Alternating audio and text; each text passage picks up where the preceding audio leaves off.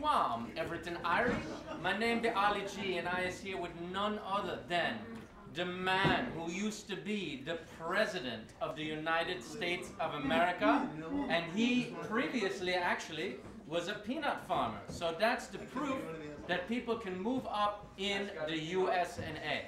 I also have my dear friend Borat all the way from Kazakhstan, and he's going to interview Jimmy Carter. Yak Shemesh, I'm here with Jimmy's Carter, Mr. Jimmy's. Is it true that you are enemy of the Jew? No. Who tells you this?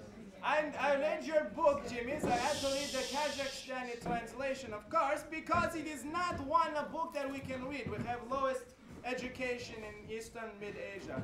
But I ask you, in your book, you say that there is plan to rid the world of Jew. Is this true?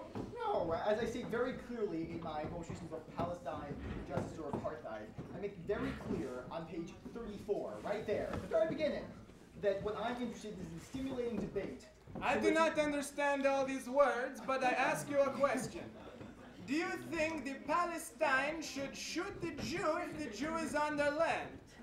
Well, uh, when the uh, Jews, the Israelis, are engaging in inappropriate and uh, world-condemned uh, acts, of, acts, of, acts of terrorism against the poor Palestinian local populace, I think they have a right to defend themselves. But that's why I believe in peace. Indeed, I helped preside over a peace treaty between Israel and Egypt, and Egypt has upheld that to this day. So you would shoot the Jew. If they were trying to kill me, I think I would shoot the Jew in self-defense. But is your wife also a Jew? Yes, in fact, many of my closest friends are Jewish. So if they come into your land and you kick them out and you say, bye bye Jew, you're not taking my money this time, would you say that they have been, what is going on?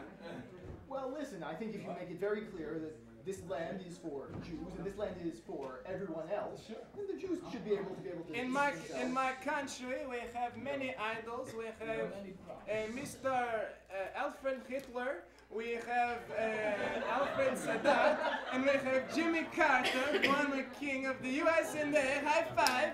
I, and we have studied your presidential policy and we have implemented. We now make all Jew wear hat like this.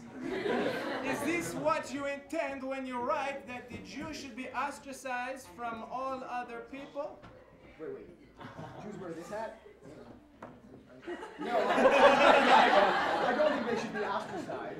Rather, uh, you know, they have to realize that though they have a country, that does not give them the right to steal land from nearby just because they feel like it. When you say that apartheid is no good, why do you not think that the chocolate-faced people should have the right to oppress the Jew? No, no, no, no. I'm trying to relate what the Jews are now cruelly doing to the poor innocent Palestinians to what the whites were doing to the blacks in South Africa. And the gypsy? what about the gypsy? I see one running around here. If you see her, you must be very careful. She might try to shrink you like this. But if you get her tears, then we'll all be alright. Make her cry, please. I want to thank you very much for coming, Mr. Jimmy's. Maybe sometime you can see what a real paradise against the Jew is like and come to Kazakhstan. Dziękuję.